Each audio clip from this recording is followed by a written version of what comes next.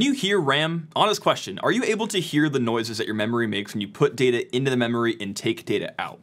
Now, I thought the answer was no, but a researcher recently found a way that you can listen to the electrical signals that your RAM makes and use that to covertly extract data out of a computer. In this video, we're talking about the RAMBO attack, a new attack that is truly insane. They're using electrical signals that are created by the RAM to sneak data out of a network they don't have direct access to. Let's talk about it right now. Before we do, if you're new here, hi, my name is Ed. This is The Low Level Learning, a channel where I talk about cybersecurity, software security, a bunch of other cool stuff. If you like that stuff or just want to hang out, hit that sub button. This technique is called the RAMBO attack, radiation for air-gapped memory bus for offense. Kind of a backronym, I think they probably chose Rambo and then decided to call it this.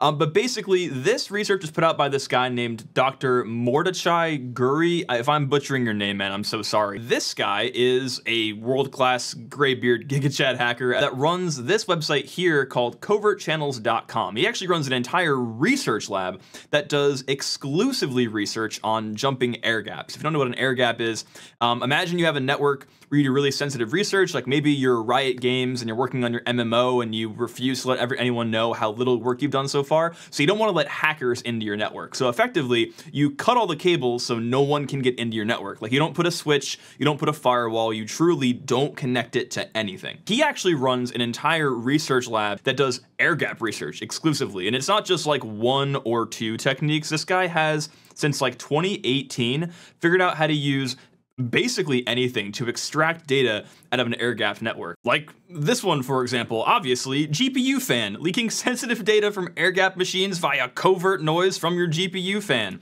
Or SATAn, air-gapped exfiltration attack via radio signals from your SATA cables, which are those cables that connect your hard drive to your computer like okay like things that i would have never thought that someone could pull data off of uh, but this guy has. So in this new concoction this new brainchild that he's come up with uh, he figured out a way to via an air gapped workstation that has malware previously put into it to use a custom piece of malware that somebody evil put into this air gapped network and they're able to, by writing to RAM in a particular sequence, create enough electrical noise off of the RAM, which is just another piece of electronics, just like the GPU fan or the buzzer or the LED, that will make electrical noise. When you write data to a piece of RAM, at the end of the day, all you're doing is turning an electrical signal on and off. And because there is no perfect way to do that without putting something into the ether, into the, you know, the universe, um, someone else outside of that environment can hear it. And by transmitting data through these means, they're able to actually transmit at about a thousand bits per second on a 3.6 gigahertz CPU,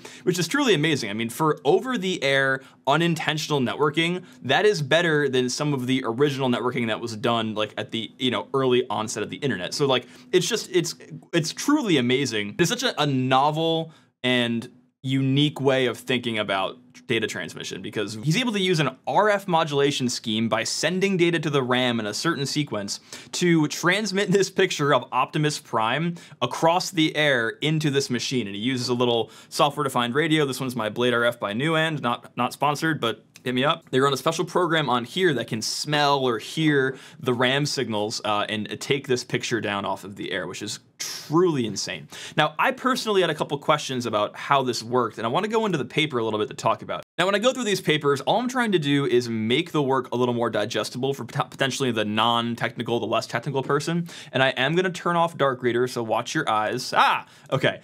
Um, so this here is a graph of the data over time, and the data itself is just the amplitude of the signal that the RAM is putting out, right? So my first question was, how are they able to control exactly when the signal goes off, right? Because in my head, I was like, oh, if you write to RAM once, you know, you're gonna put out a little bit of EMF, a little bit of electromagnetic frequency, but that happens all the time in computers. So how are they able to differentiate themselves?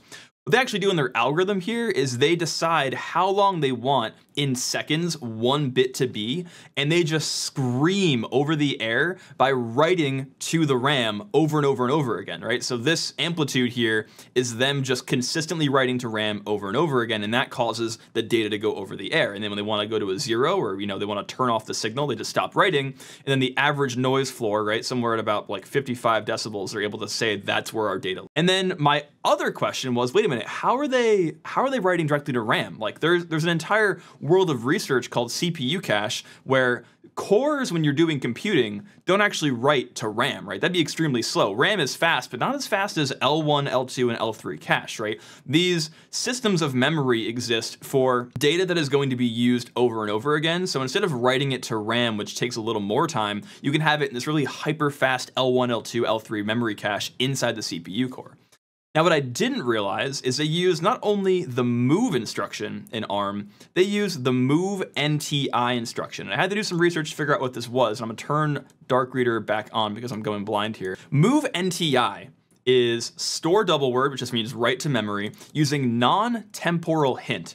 And all that means in layman's terms is move to memory, but completely skip the cache. It is literally a direct write to RAM without using any of the cache layers. So they're able to directly create this algorithm where they're emitting these signals on demand and thus putting the image out into the air and being able to pick up the traffic. Now in this table what they're doing is they're demonstrating how long it takes to download certain kinds of information, right? And this t value here is going to be how long is a single bit. If you make your single bit too short, you introduce more noise and could cause errors in your data. If you make your bit time longer, there is less noise, but there's also more time in between bits and therefore slower transmissions.